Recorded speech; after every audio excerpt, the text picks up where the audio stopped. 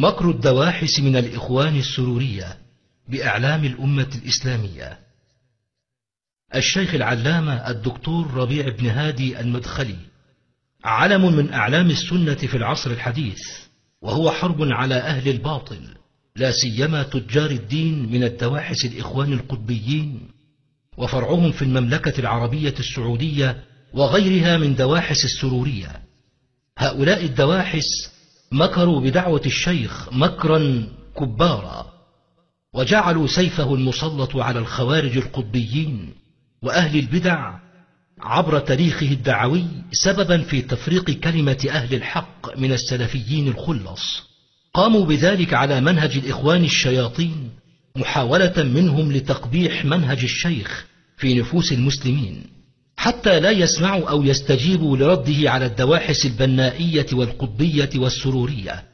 يتولى تنفيذ مخططهم في إسقاط الدعاة المتمسكين بالحق والداعين إلى منهاج السلف المحبين بصدق للشيخ. مجموعة من المبالغين في مدح الشيخ يقومون بالتدليس عليه في تجريح من شاءوا وهؤلاء نعرفهم بأسمائهم.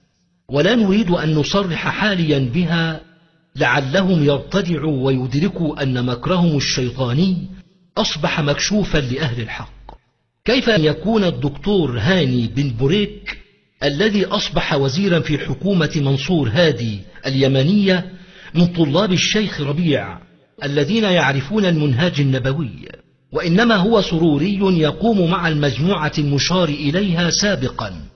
على محاصرة آثار قوة تأثير دعوة الشيخ على كشف زيف الإخوان الدواحس وبيان انحرافاتهم لعامة المسلمين.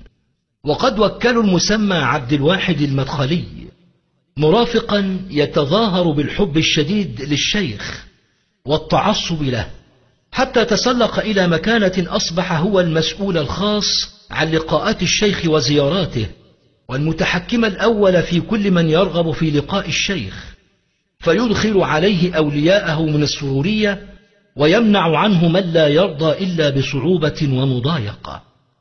ولذلك يسمع الشيخ ربيع من طرف واحد فتصله بعض الأمور محرفة ومخالفة للواقع تماما. كما فعلوا بالشيخ العلامة عبد العزيز بن باز.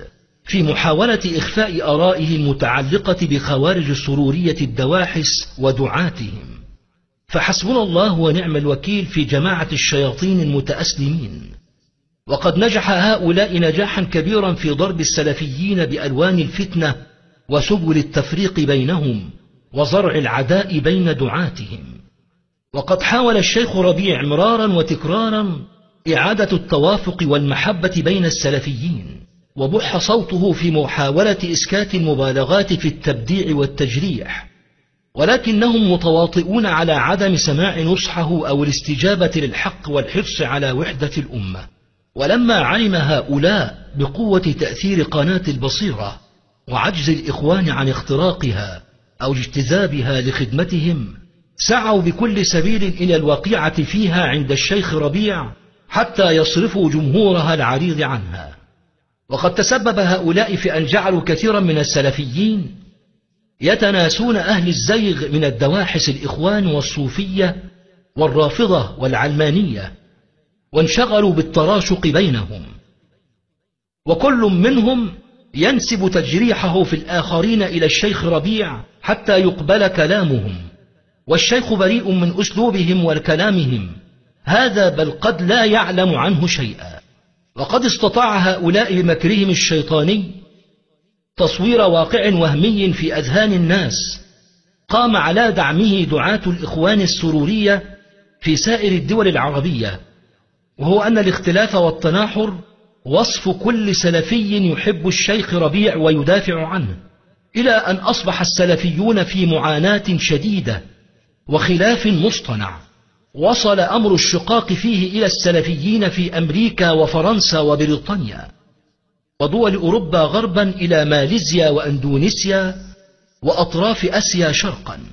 وكل ذلك المكر الإخواني الشيطاني الذي عجز اليهود والنصارى والمجوس وجنود إبليس عن مثله ليشغلوا أصحاب المنهج السلفي بأنفسهم فيتصارعون فيما بينهم ويتراشقون ويختلفون.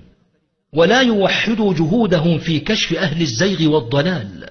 على رأسهم شياطين السرورية الدواحس من جماعة الإخوان التكفيرية خوارج العصر.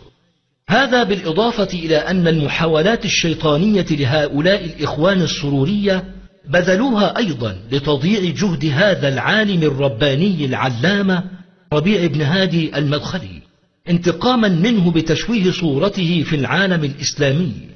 لكن الله لهم بالمرصاد وسينقلب سحرهم عليهم وسينفضح أمرهم بين سائر العباد بحول الله ولا حول ولا قوة إلا بالله. وقناة البصيرة الفضائية تهيب بإخواننا دعاة المنهج السلفي بعد لقاء الشيخ محمود الرضواني بالعلامة الشيخ ربيع المدخلي أن منهج الشيخ ربيع حفظه الله لا يخرج عن التمسك بالكتاب والسنة على منهج سلف الأمة في تصديق الخبر وتنفيذ الطلب.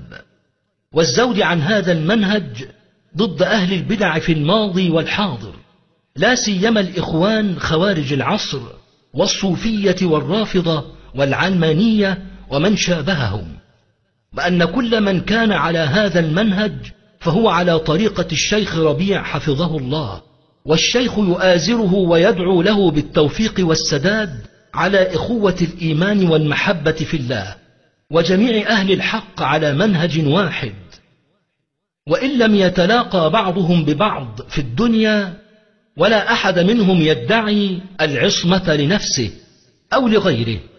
بعد رسول الله صلى الله عليه وسلم بل كل منهم وقاف على الحق يرجع إليه إذا تبين له موضع الخطأ.